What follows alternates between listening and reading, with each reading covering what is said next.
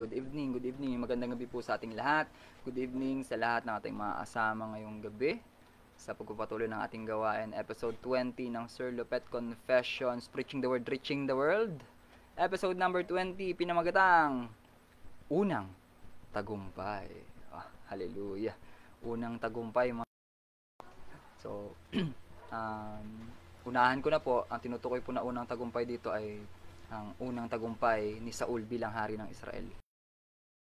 At sa buhay natin, marami tayong mga unang tagumpay. Na, kung isipin niyo po, no, ang sarap balik-balikan ng mga unang pagtatagumpay natin. No?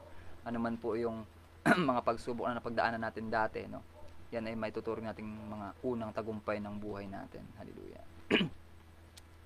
so, ang text po natin ay sa 1 Samuel chapter 11, verse 11. 11-11, di ba?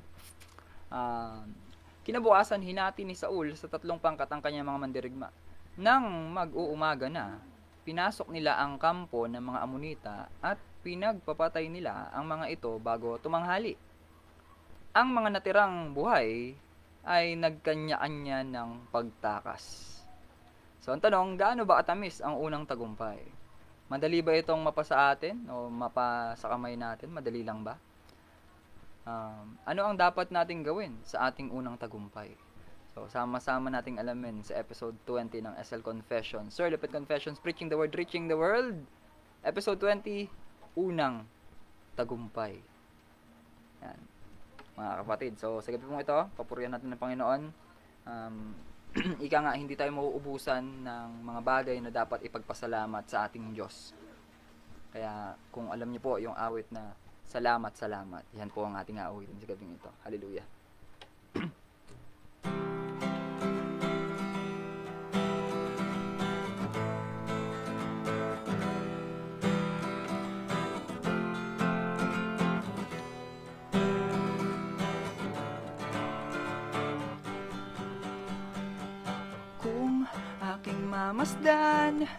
Galawakan Hindi ko maunawaan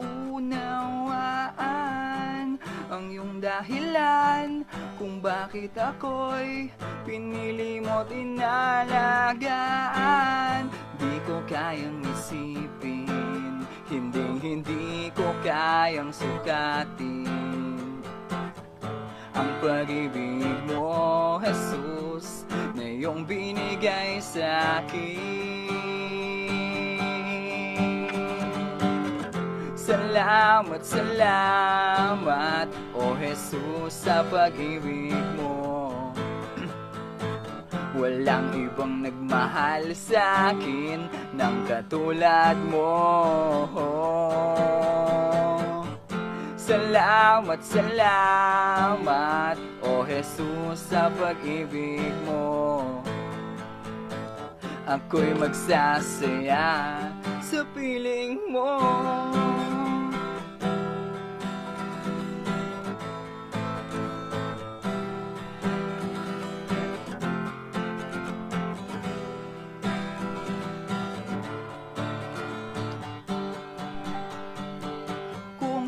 May pagsubok man o kagipitan Ako'y may lalapitan. Ikaw, Jesus, ang aking sandigan. Hindi mo ko pababayaan. Di ko kayang isipin. Hindi, hindi ko kayang sukatin. Ang pag-ibig mo, Jesus iyong binigay sa akin Salamat, salamat. O Jesus sa pag-ibig mo. Walang ibang nagmahal sa akin ng katulad mo. Salamat, salamat. O Jesus sa pag-ibig mo Ako'y magsasaya sa piling mo. Buhay ko nang purihin ka. Buhay ko nang sa'yo'y sumamba. Wala nang ibang nanaisin pa Kundi pasalamatan ka. Nang purihin ka Buhay ko nang sa'yo'y sumamba. Wala nang ibang nanaisin pa Kundi pasalamatan ka. Buhay ko nang purihin ka. Buhay ko nang sa iyo'y sumamba. Ah, Wala nang ibang nanaisin pa Kundi pasalamatan ka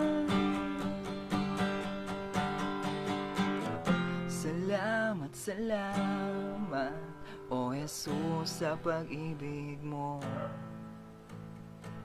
Walang ibang nagmahal sa akin Nang katulad mo.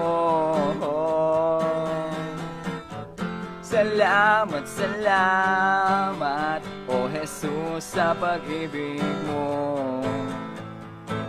Ako'y magsasaya sa piling mo Salamat, salamat. O Jesus sa pag-ibig mo. Walang ibang nagmahal sa akin Nang katulad mo. Salamat, salamat. O Jesus sa pag-ibig mo. Ako'y magsasaya sa piling mo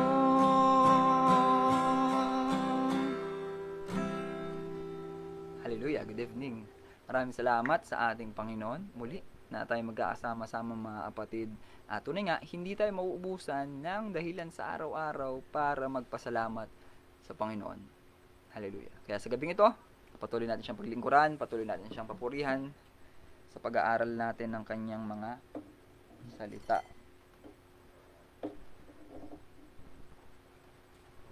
Handa na ba kayo mga kapatid? Handaan na ba? O kung handaan type mo sa ating comment section, handa na ako. Excited na ba kayo para sa mensahe ng Panginoon ngayong gabi? So, so nakikita nyo po sa title, no? Sa paksa natin ngayong gabi, sa um, ating programa, Sir Lepet Confessions, Preaching the Word, Reaching the World, episode 20, number 20, hallelujah. Episode number 20, Unang Tagumpay, hallelujah. Hello, Jericho. Ayan, sabi ng kapatid ko, um, handa na ako. Ayan, hallelujah. Handa na tayo dapat. Magandang gabi, sir. Hallelujah. Good evening rin sa iyo, Jericho. Jericho Karai. Ayan. Um, I believe grade 9 ka na ngayon. Yan. So, dito, tayo nang tayo na't magsimula sa ating gawain ngayong gabi. Uh, so, tayo muna ay manalangin. Hingi natin ang karunungan mula sa Diyos na kailangan natin upang maunawaan ng kanyang salita.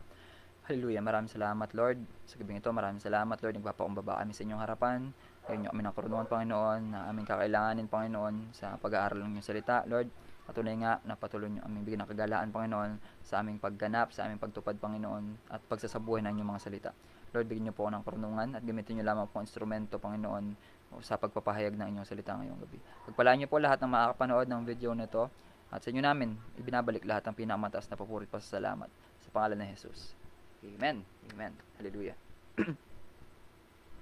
Ito na tayo. So, yung verse po dito, um, unang tagumpay, 1 Samuel 11.11, kinabukasan hinati ni Saul sa tatlong pangkat ang kanyang mga mandirigma. Nang mag-uumaga na, pinasok nila ang kampo ng mga Amonita at pinagpapatay nila ang mga ito bago tumanghali. ang mga natirang buhay ay kanya-kanya, nagkanyaan niya ng pagtakas. Hallelujah. So ngayong uh, gabing ito mga kapatid, masasaksihan po natin yung unang digmaan na naipanalo ni Haring Saul, no. so kung babalikan natin sa 1 Samuel chapter 10, eh dito na binasbasan or binuhusan ng langis si Saul. Pero kagabi sa binasa natin eh nagpalabunutan pa pala. At uh, dahil yun nga ay pinili, dahil pinili na nga siya ng Diyos eh kahit magpalabunutan pa sila eh tiyak na si Saul pa rin ang mabubunot uh, para tanghalin na unang hari ng Israel. At nakita natin sa dulo nun, kahit na siya ay naging hari na eh, may mga tao pa rin na hindi nagtitiwala sa kanya mga kapatid. So, ganun din tayo sa buhay natin. Medyo babao lang tong ilaw, no? Medyo madilim tayo eh. Yan, sobrang liwanag naman yata. Okay, yan, good evening. Good, good, good evening po sa ating lahat. Ngayon, simulan po natin ang ating um, talakayan, ang ating kwentuhan no?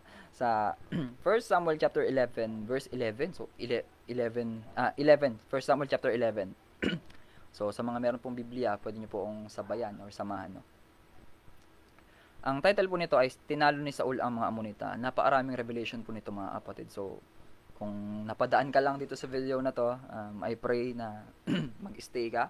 Kung may mas mahalaga ang gagawin, hindi ko alam ano mas mahalaga. Pero ang salita ng Diyos, yun kasi mas mahalaga. Eh. Pinakamahalaga sa lahat. so, verse 11.1, sabi, Ang Habes Gilead ay kinubkob ni Nahas na hari ng mga Amonita. Grabe, laging may laman yung lalamunan ko pagka nagla-live tayo. Ah. Ayan. Ang Habes Gilead ay kinubkob ni Nahas na hari ng mga Amonita. So, mga Amonita po ay panibagong kalaban na naman to ng mga Israel. Kasi nung mga naaraan, ang kalaban nila, uh, mga Filisteo. sa panahon ni ano ni Eli, 'di ba? Filisteo yung kalaban nila. Ngayon, ang kalaban naman nila ngayon ay mga Amonita. ngayon itong mga Amonita, may hari sila, ang pangalan ay Nahas, hindi po Ahas ha. Nahas. Ahas na may N, no? Nahas. ngayon, itong Habes Gilead na to ay lugar doon teritoryo to ng mga Israelita. Nang mapaligiran niya ang lungsod, nagpadala ng sugo sa kanya ang mga taga roon. So, isipin po natin, lungsod tapos napapaligiran na ng kaaway. And then, etong mga nakatira doon sa lungsod, eh, nagpadala ng sugo sa kanya na may sasabihin. Sinabi ng mga sugo, kung magkakasundo tayo, pasasaop kami sa inyo. 'Di ba? So sa buhay natin ganyan mga kapatid, no. Uh, ito yung parang ano na eh, uh, wala nang ibang paraan. Wala nang ibang tsansa, wala nang ibang there's no other way para makalaban. So yun na. Yun na ang paraan. So sinabi ng mga sugo, kung magka magkakasundo tayo, pasasaop kami sa inyo. Verse 2, sumagot si Nahas, no? Itong si Nahas, eh, may pagkanahas talaga, no? sumagot si Nahas, in Jesus name, uh, maikipagkasundo ako sa inyo kung ipadudukot ninyo sa akin ang kanang mata ng bawat isa sa inyo. Hallelujah. so mga kapatid, isipin nyo po gaano ka gaano ka gaano kalaking kahihiyan 'yon so, sa panahon nila no. Tayo nga eh ano lang eh, maagat lang ng langgam. Ang sakit na paano pa kaya yung dukutin yung kanang mata. No? So yung, pana, yung nung panahon na yun, eh, yun talaga ay malaking marka na sila ay nagapi ng mga amonita dahil doon sa pangyayaring yun. Kung dudukutin yung kanang mata nila, sipin nyo yun. Ganong kahihiyan yun. Kitang-kita talaga dahil pag tinanong, bakit nawala yung mata mo? Oh, halata na doon. Nandun na agad yung sagot. Sila ay natalo ng mga amonita. so, Sumagot si Nahas, makikipagkasundo ako sa inyo kung ipadudukot ninyo sa akin ang kanang mata ng bawat isa sa inyo. Hallelujah.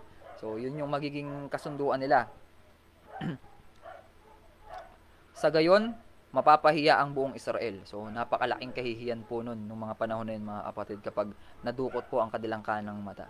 Ngayon, etong verse 3, makikita po natin dito ay talagang hinang-hina itong mga taga-Habes Gilead kasi Sinabi ng mga pinuno ng Habes, bigyan po ninyo kami ng pitong araw.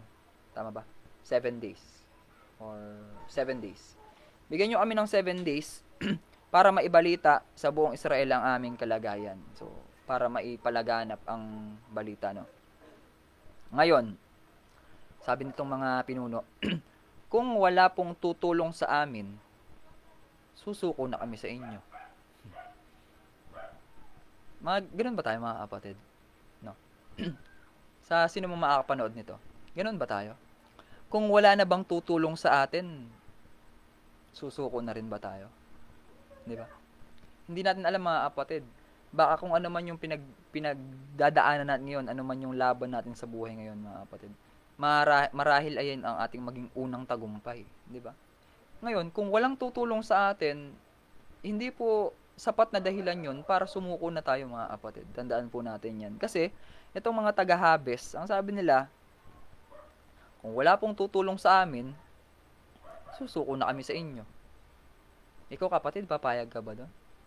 Kapag walang tumulong sa'yo, susuko ka na ba? ba? Hindi po lingid sa kalaman nating lahat kung minsan yung mga pamilya, yung pamilya natin kasama na sa bahay, no? Uh, na inaasahan natin na sila ang tutulong sa atin. Kung minsan hindi rin naman sila ang tutulong sa atin. Ibang tao ang tumutulong sa atin, di ba? So, yun po ang mensahe mga kapatid, no? Hindi ibig pong sabihin na walang tutulong sa atin ay agad-agad susuko na tayo. No? Huwag nating tularan yung mga taga-habes na kung saan na, gumawa sila ng kasunduan sa mga Amonita kay Nahas sa hari ng Amonita na wait lang, bigyan nyo kami ng 7 days at kapag dumating yung 7 days tapos walang nag-offer ng tulong sa amin, doon kami papayag na dukutin mo yung kanang mata namin. At okay na kung mapahiya ang Israel, parang ganon, no? so yun, and then naghiwalay na sila. Ngayon, um, sa verse 4, umabot sa Gibeya ang mga sugo. So, lakbay sila, pinakalat na nila yung balita. Nang marinig ang balita, nag-iyakan ng malakas ang buong bayan. Iyakan na. Nag-iyakan na sila lahat, mga kapatid.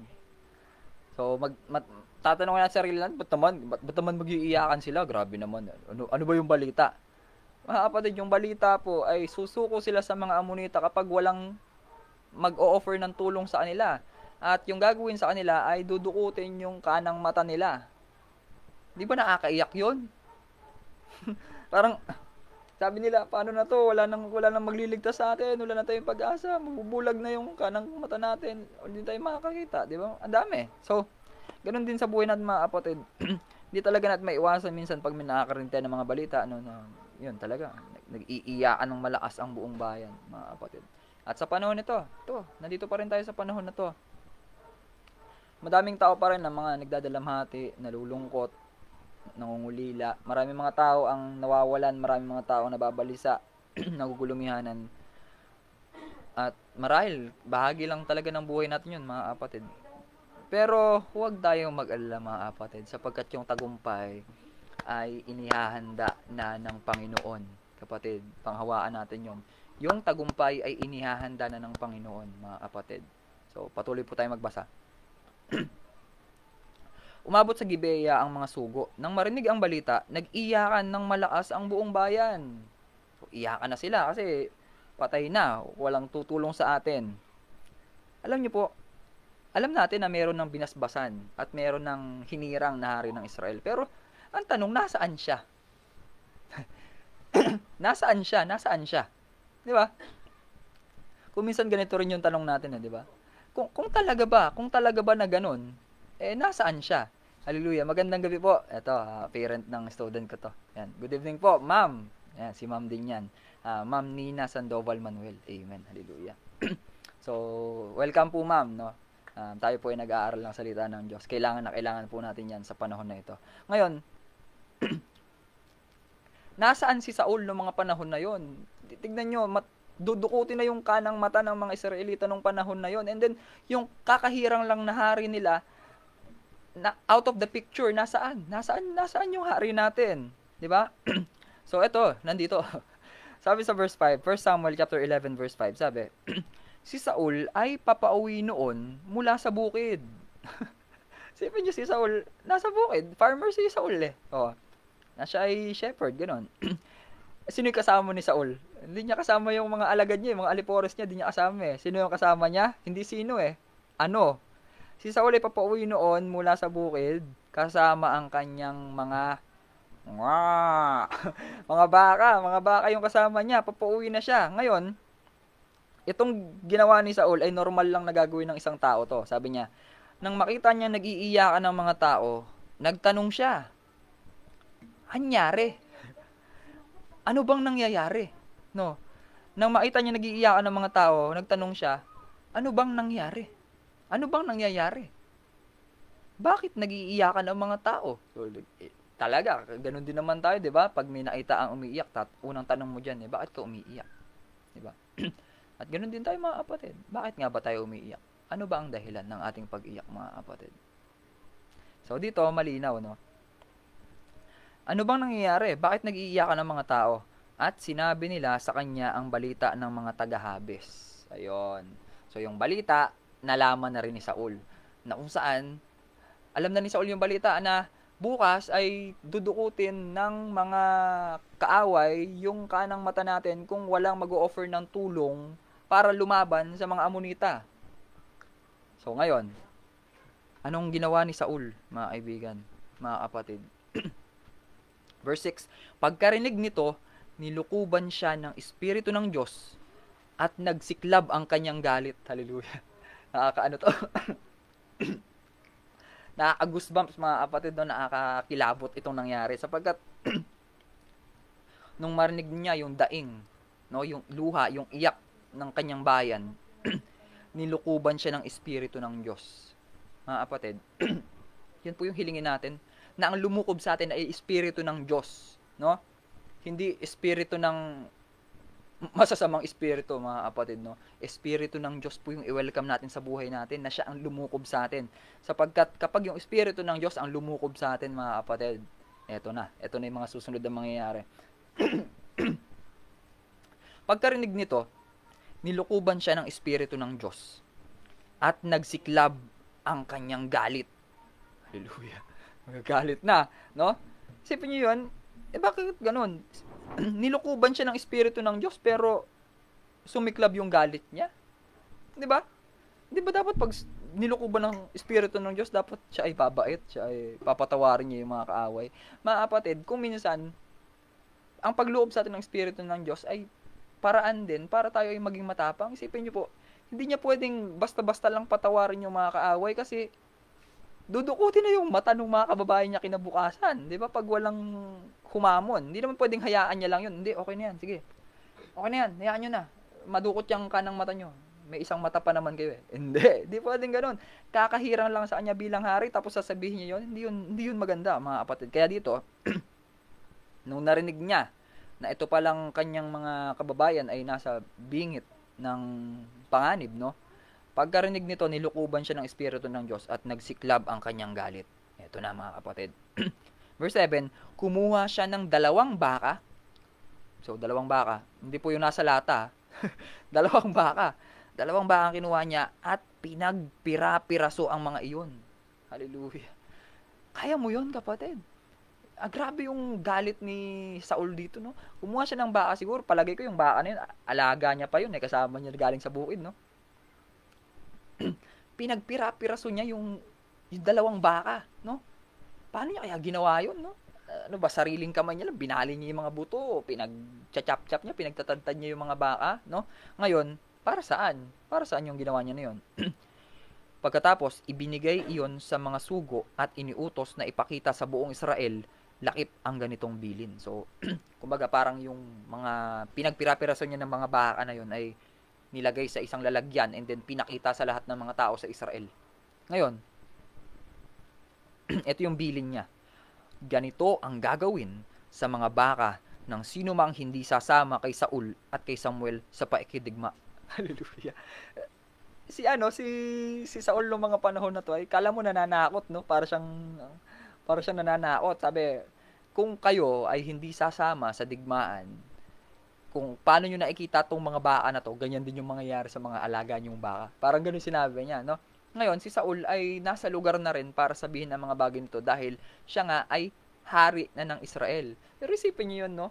Kahit hari na siya ng Israel, mga kapatid, wala siya sa palasyo, di ba? Nasaan siya?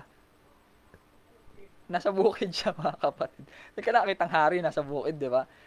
Hari na siya, mga kapatid, base dun sa binasa natin kagabi, di ba? Pero kahit hari na siya, nagfa-farm pa rin siya. Nag-farming, nag-agriculture pa rin siya mga kapatid, no? At yun nga, kararating niya galing sa bukid, then nalaman niya to. And then yun, narinig niya, nilukuban siya ng Espiritu ng Diyos. At ayun na, sumiklab na siya sa galit. At siguro yung dalawang alaga niyang baka, pinagpira-piraso niya. Ngayon, ibinigay iyon sa mga sugo at iniutos na ipakita sa buong Israel laip ng ganitong bilin. Ito yung bilin. Ganito ang gagawin sa mga baka ng sino mang hindi sasama kay Saul at kay Samuel sa pakikidigma. In short, pag di ka sumama sa digmaan, lagot yung mga baka mo. Pipira-pirasohin din yan. Parang ganoon nung panahon na yon. so ito, makikita niyo po na parang napaka-rude naman ng encouragement ni ni Saul, no? Ba't di niya na lang sabihin na kung sino ang mga handang maipaglaban o ipaglaban ng ating bansa ay inaanyayahan bukas, no? Na sumama. Pero hindi. Ginawa niya, kinuha niya dalawa niyang baka tapos, ayun na, pinagpira-piraso niya and then pakita niyo yun sa lahat. Pag di kayo sumali sa digmaan, ganyan mangyayari sa baka nyo. Parang ganun. Ngayon, ang mga Israelita, Israelita ay nakaramdam ng matinding takot kay Yahweh. Yung pinakamaganda doon mga kapatid, no? Hindi sila kay Saul natakot. kay Yahweh sila natakot. Sa Diyos sila natakot. di ba? So, ganun po sa mga buhay natin mga kapatid. Eh, huwag tayo sa kapwa natin tao matakot. Matakot tayo sa ating Diyos, mga kapatid. No? Ngayon, ang mga Israelita ay nakadama ng matinding takot kay Yahweh. Kaya silang lahat ay nagkaisang sumama sa labanan. Ayun na, nagkaisa na sila. Laban na to. Tara na. Ngayon, verse 8, Tinipon ni Saul sa Bezek. Yung lugar ay Bezek. Tinipon ni Saul sa Bezek ang mga tao. So, come together. Tara. Umabot sa, mga kapatid, ilan yung kasama niya dito? Umabot sa tatlong daang libo 300,000. Yun ay galing pa lang sa Israel, no? Umabot sa 300,000 ang galing sa Israel at 30,000 naman ang galing sa Huda. So, Judah plus Israel is equal to 300,000 plus 30,000 is equal to 330,000 mga dirigma, mga kapatid ang naipon nung araw na yon. Verse 9, Sinabi nila sa mga sugo, ito ang sabihin ninyo sa mga taga-Habes Gilead. Bukas ng tanghali, darating ang magliligtas sa inyo. Nang marinig ito ng mga taga-Habes, na tuwa sila. Di ba? Normal. Normal lang na reaction yon Normal lang na response nating mga tao yon na pag nalaman natin na nandyan na yung ayuda. may, may nagbigay ng bigas. Uh, ano ba ba? Uh, may grocery sa barangay, uh, pakita nyo lang stub, ano pa, uh, yung household ID. Masaya tayo, di ba? So, gan- ganito rin. Sinabi nila sa mga sugo, ito ang sabihin ninyo sa mga taga-Habes Gilead. Bukas ng tanghali, darating ang magliligtas sa inyo. Nang marinig ito ng mga taga-Habes, natuwa sila. So, yun normal lang naman sa atin yon na pag naakit, na, pagka nar, naramdaman o narinig o nabalitaan natin na may parating na na favor, eh, normal lang naman na matuwa tayo. Verse 10, At sinabi nila sa mga amonita, Bukas, susuko na kami sa inyo at gawin na ninyo sa amin ang gusto ninyo. Alam niyo po yun, no? Anong, gaano kalaki yung confidence na naghahari sa puso nila ng mga panahon na yun? nilinlang nila yung mga kaaway, no? Dahil alam nila na meron ng magliligtas sa kanila. Sinabi pa rin nila dun sa mga kaaway na bukas susuko na kami sa inyo at gawin na ninyo sa amin ang gusto ninyo. Di ba? Alam nila kasi na meron ng magliligtas sa kanila. So, kahit bumalik pa yung mga Amonita kinabukasan, nalakas yung pananampalataya nila na meron may darating bukas mga kapatid. May darating na biyaya, may darating na pananampalataya, may darating na pagpapala, may darating na kalakasan, may darating na kagalakan, may darating na um, pag-iingat, may darating na proteksyon, may darating na provision mula sa ating Diyos mga kapatid. Huwag po natin lagi isipin may darating na blessing, blessing, blessing, blessing. Hindi lang po laging pera o pagkain ang kayang ibigay sa atin ng Diyos. Kaya niya rin magbu- magbigay ng buhay na walang hanggan. Di ba? Kaya nga tayo nagpapatuloy sa paglilingkod mga kapatid. Sapagkat yon ang ating pananampalataya na tayo ay bibigyan ng buhay na walang hanggan ng Diyos kung tayo ay sasampalataya sa ating Panginoong Hesus. At kapag tayo ay nananampalataya na sa ating Panginoong Hesus, kailangan nating magpatuloy na sa paglalakad sa landas na sinat niya sa example para sa atin. No? Hindi po pwedeng sumasampalataya ako kay Jesus pero hindi naman ako nagbabasa ng salita niya. Hindi po pwede 'yon, no? Napaka-contradicting nung bagay na 'yon, no?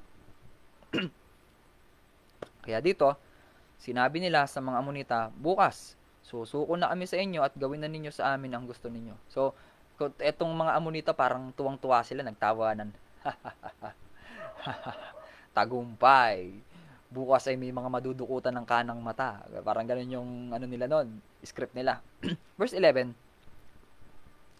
Kinabukasan, hinati ni Saul sa tatlong pangkat ang kanyang mga mandirigma. So, ang galing, no? Kasi 330,000, divisible siya sa 3.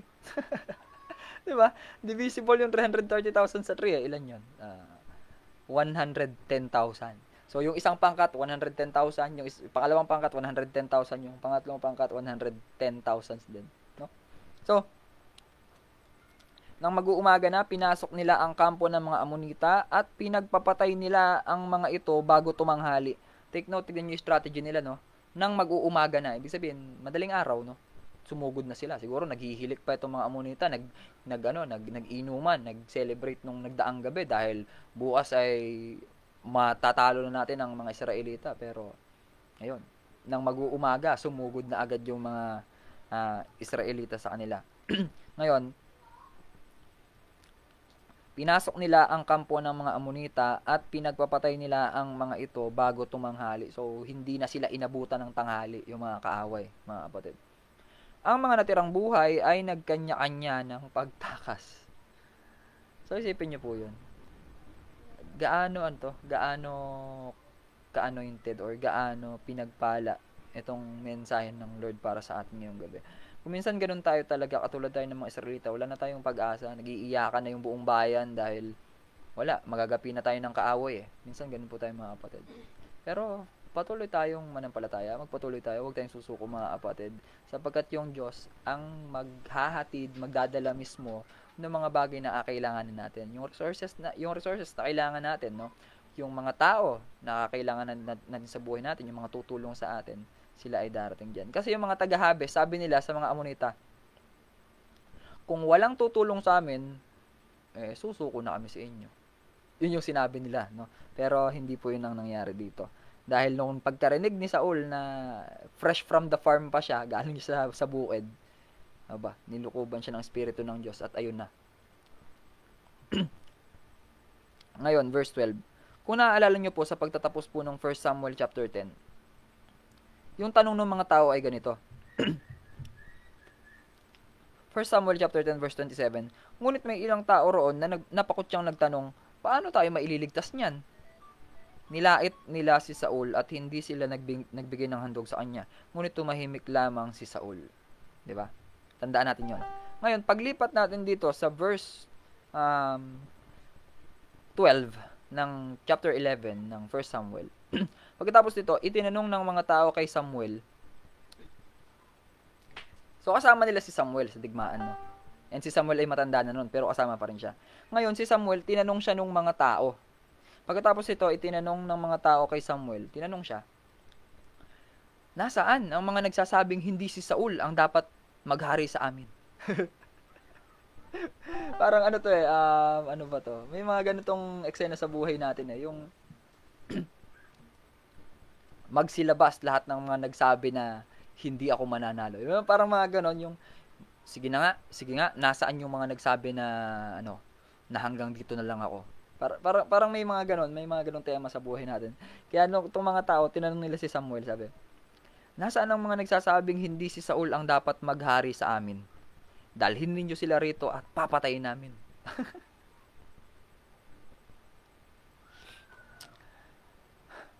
Sipin niyo po yun mga kapatid, no? Ano ang tumatakbo sa isip ng mga tao na yon, no? Gusto pa nilang ipamanhunt, gusto pa nilang ipatugis yung mga tao na nagsabi na hindi daw karapat dapat si Saul na maging hari, no? Gusto nilang hanapin, nasan yun? Nasan yung mga yon? Dalhin nyo dito at papatay namin. Di ba? Ano tumatakbo sa isip nila, no? So, siguro ta ganun talaga dahil gusto nilang ipakita dun sa mga tao na yon na mali sila ng hinala, na mali sila ng inisip, no? Pero iba kasi talaga ang isip ng tao, mga kapatid. Kailanman hindi natin maaabot yung iniisip ng Diyos at yung plano niya para sa buhay natin. So tayo, dahil di natin maabot, eh, kailangan natin gawin, eh, manampalataya lang, panghawaan natin yung pangako niya.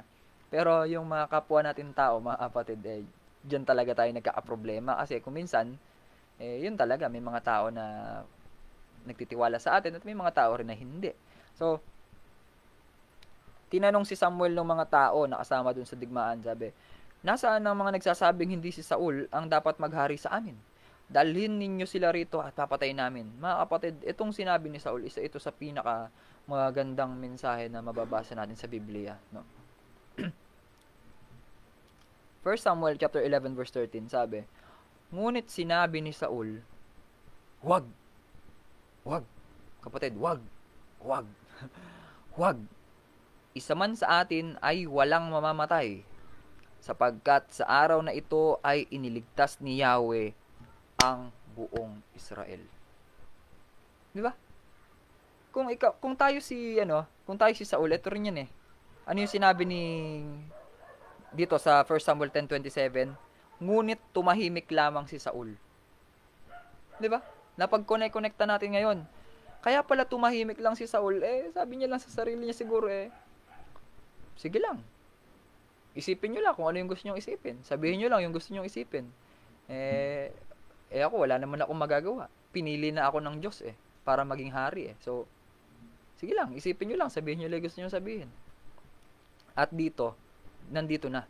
Yung parang justification, nandito na yung conclusion or nandito na yung generalization ng mga napangyayari. Kasi, nung panahon na gusto nang patay ng mga tao, yung mga hindi nagtiwala kay Saul, eto naman si Saul, yun yung sinabi niya. Ngunit sinabi ni Saul, huwag, huwag, huwag. Isa man sa atin ay walang mamamatay, sapagkat sa araw na ito ay niligtas ni Yahweh ang buong Israel. Isipin niyo po yon, hindi si Saul ang nagligtas sa Israel. Si Yahweh ang nagligtas sa Israel. At ganun din tayo mga kapatid palagi, no? Hindi natin kayang iligtas ang mga sarili natin, kapatid, no? no? We always believe na si God ang lamang ang may kakayahan na magligtas sa atin. Lalo na dun sa, bu- sa kamatayan na walang hanggan. No? Kaya tayong iligtas ng Diyos mula sa apoy ng impyerno mga kapatid. No? Kaya siya ang may kapangyarihan na bigyan tayo ng kaligtasan. No? Upang tayo ay maging karapat dapat para sa buhay na walang hanggan. Ngayon, sinabi, verse 14, at sinabi ni Samuel sa mga tao, magpunta tayo sa Gilgal at doon ay muli nating ipahayag na hari natin si Saul. So, meron silang post-celebration o parang ganun. Post-war celebration, kumbaga. Sa verse 15, ito po yung last verse natin. Lahat ay sama-samang nagpunta sa Gilgal at kinilala si Saul bilang hari. So, ito po yung unang tagumpay ni Haring Saul bilang hari ng Israel. No? Pagkatapos, naghandog sila kay Yahweh ng mga haing pangkapayapaan at nagdiwang silang lahat. That's the end of 1 Samuel chapter 11. And bukas, dahil sila ay nasa post-war celebration, eh, ating basahin ano ba ang talumpati, no? Ano ang talumpati ni Samuel, mga kapatid, no? So, dahil itong talumpati niya na to ay nagbabanggit ito ng mga bagay na mangyayari sa mga susunod. No? So, parang ito na yung overview ng mga mangyayari. Ngayon, balikan natin itong 1 Samuel chapter 11 na to. So, unang tagumpay, mga kapatid. Sa buhay natin, kay sarap balikan yung mga araw na nakaranas tayo ng unang tagumpay sa buhay natin. Ano, iba-iba kasi tayo ng definition, no? Tama yun eh. Cliche, yung isang cliche na. Iba-iba ang definition natin ng success sa buhay natin, no? Iba-iba. Uh, may mga tao na kapag sila ay nakapagtapos ng pag-aaral, uh, they consider it success, no? Um, may mga tao na kapag nakabili ng sasakyan, they consider it a success. May mga tao na kapag nakapagpatayo ng sariling bahay, they consider it success. May mga tao na kapag sila ay nagkaroon na ng anak, they consider it success. Kapag nakapagtapos sa doctoral degree in sa kolehiyo, no? Ayan, doctoral. Ayan. Basta yun, mga postgraduate, mga ganun. Um, that's, we call it success. Um, kapag nag with high honor ang isang student, success yon. Um, kapag nanalo ka sa isang laro, patimpalak, you call it success. At dito, um, sila ay nagtagumpay sa digmaan at itinuring nila yung tagumpay. Pero, ang sarap balikan mga kapatid, nung unang tagumpay sa buhay natin. So, sa buhay natin may mga iba't iba tayong aspeto na meron tayong financial, meron tayong spiritual, meron tayong emotional, mental, physical, di ba?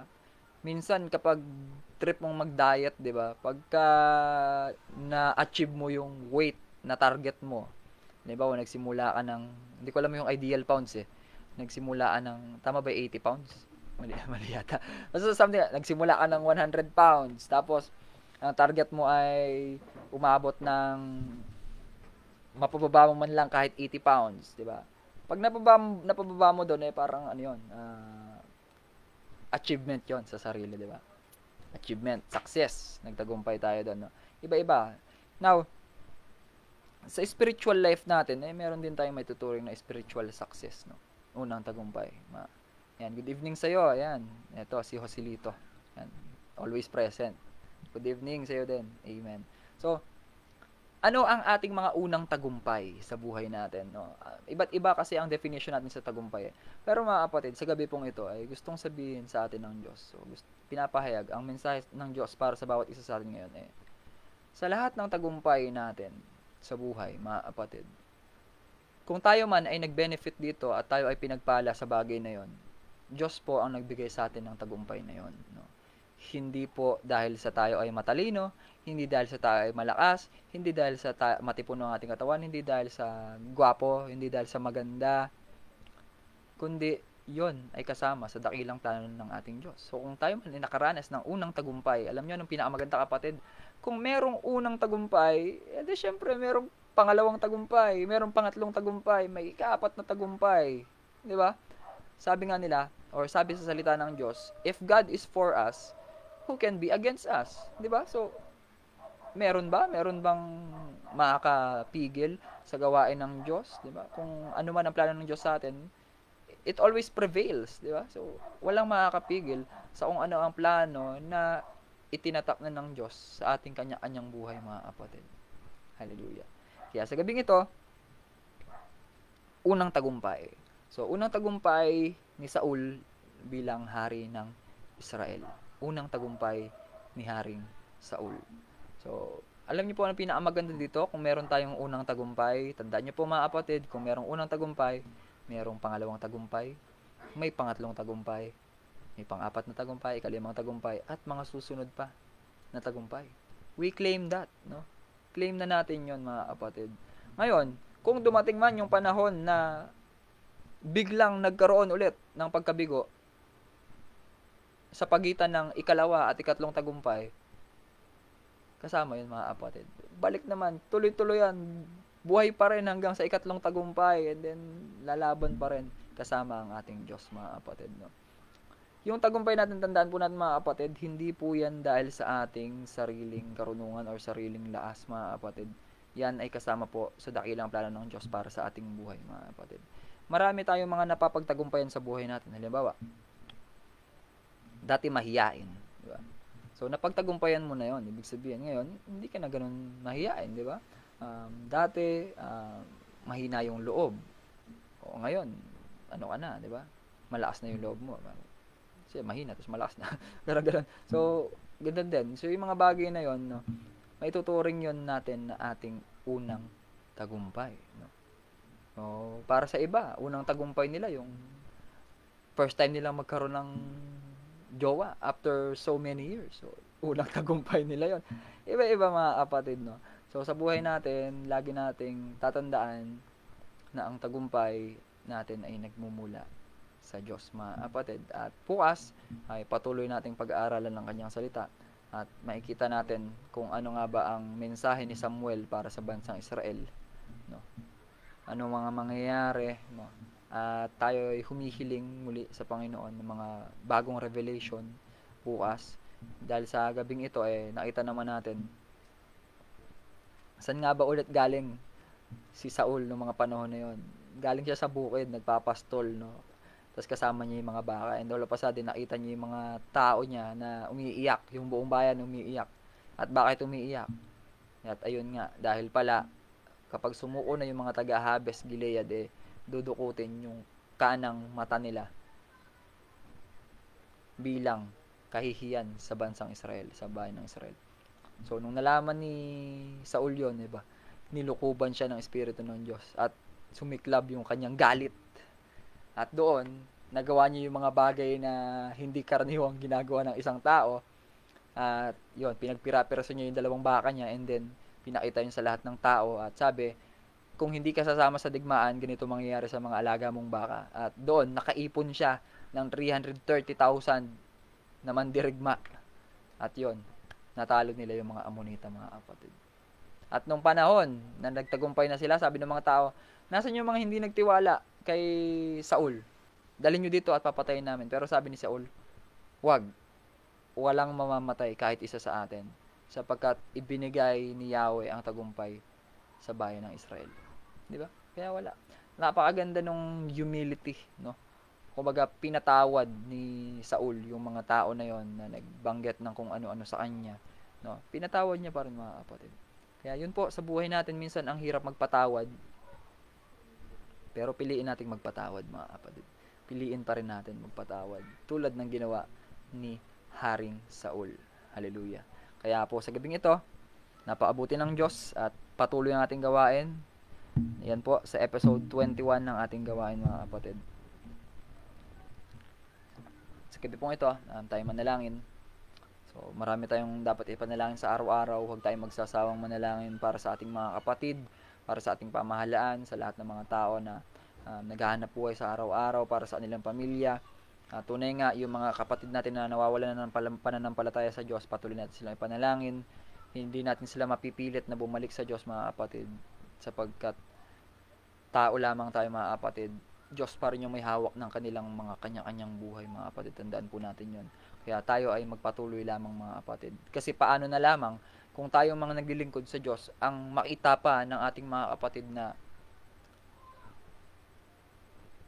tayo pa yung gumagawa ng pagkakasala, 'di ba? Paano 'yon? Paano na lang yung mangyayari nun? So, tayo bilang mga mananampalataya, eh, magsilbi tayong halimbawa sa ating mga kapatid nang sa gayon ay patuloy na rin, no? Patuloy na rin ang kanilang uh, paglilingkod, no? Magsilay manumbalik sa paglilingkod sa ating Panginoon. Hallelujah. Tayo manalangin. Hallelujah. Maraming maraming salamat, Panginoon, sa inyong kabutihan. Maraming salamat sa mga pahayag niyo sa amin, Panginoon, sa inyong mensahe sa bawat isa sa amin, Panginoon, ngayong gabi.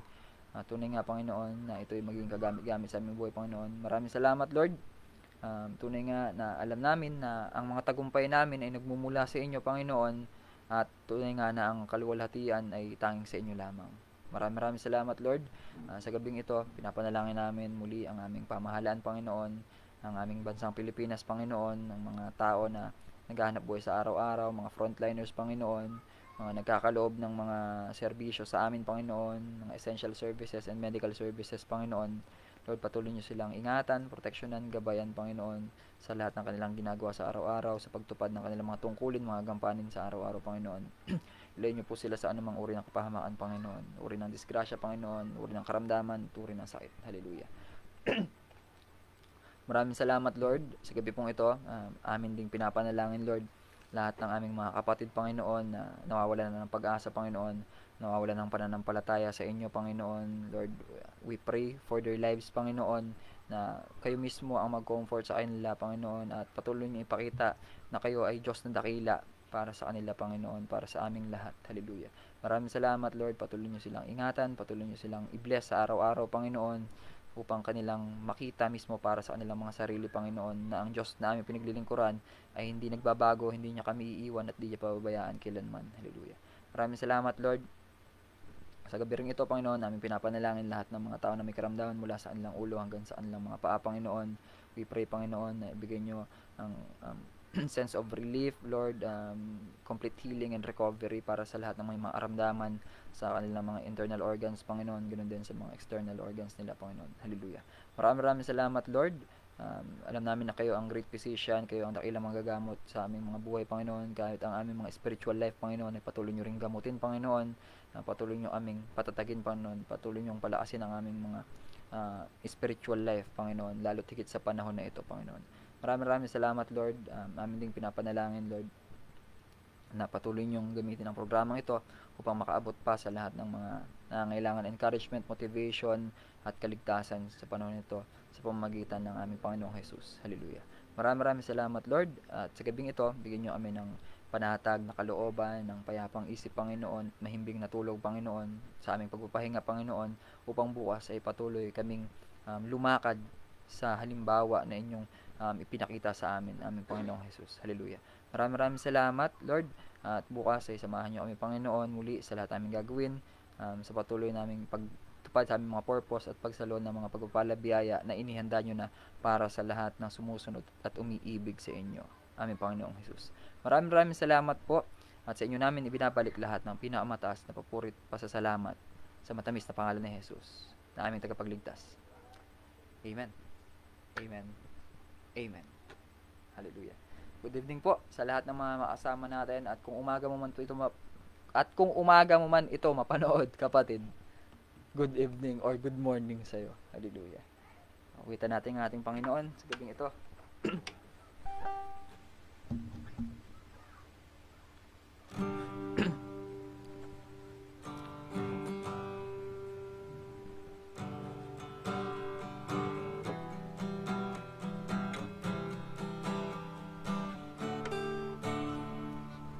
Ang kailangan ko ay pag-ibig mo O Diyos sa buhay kong ito Ang kagalakan mo'y kalakasan ko.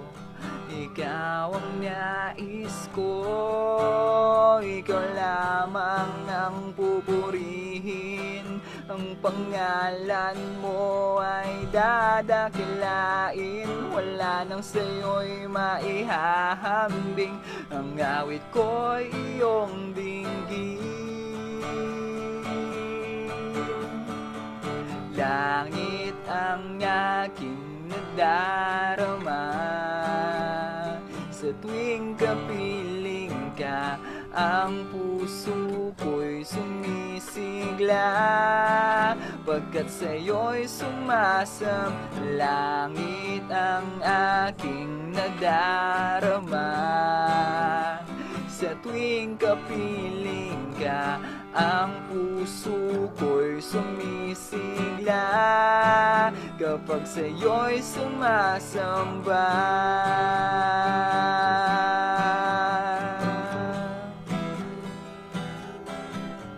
Ang kailangan ko ay pag-ibig mo O Diyos sa buhay kong ito Ang kagalakan mo'y kalakasan ko. Ikaw ang nais ko Ikaw lamang ang pupurihin. Ang pangalan mo'y dadakilain Wala nang sa'yo'y maihahambing. Ang awit ko'y iyong dinggin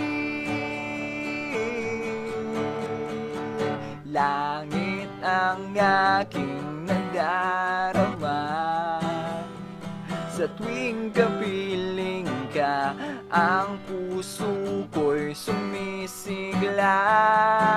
Pagkat sa'yo'y sumasang Langit ang aking nadarama Sa tuwing kapiling ka Ang puso ko'y sumisigla.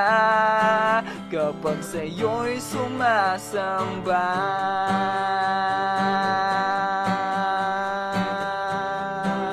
Kapag sa'yo'y sumasamba.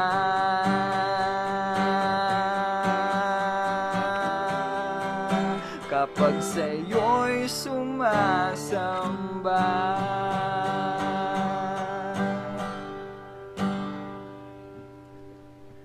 Hallelujah. Ay sarap magpuri sa Panginoon. So, yan. Amen. Sabi ng ating mami. Si Mami Nina Sandoval Manuel. Amen. Yan. Yan. yan. Kasama ka po namin nag-pray. Praise God. Hallelujah.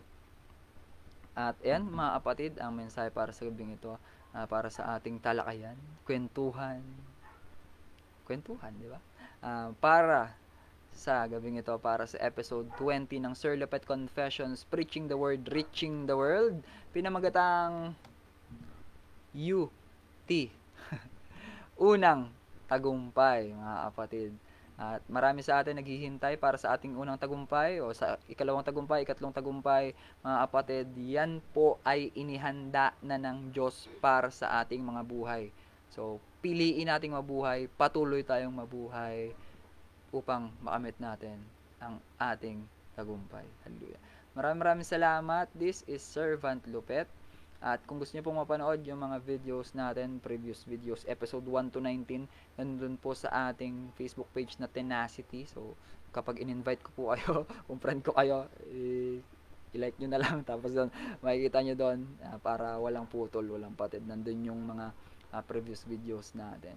And again, this is Servant Lupet. Gusto ko lang pong i-promote yung gawain naming mga kabataan, Bataan Foursquare Youth sa August 27, 6 to 7 p.m. po, kung saan ito'y pinamagatan na The Holy Post, uh, na kung saan ang topic po, ang paksa ay ang buhay ni Jonas, the life of Jonah. Kaya kita-kita po tayo doon. Yan. So, bago yon bago ang ating um, devotion or ating Bible study, eh, magkita-kita muna tayo sa The Holy Post sa August 27, 6 to 7 p.m. mga kapatid. Dito sa Facebook Live, no. At ayan, so sa gabing ito, this is Servant Lupet nagsasabi na ingat nasan ka man, God bless you and goodbye. Good night. Praise God mga kapatid. Hallelujah. Praise God.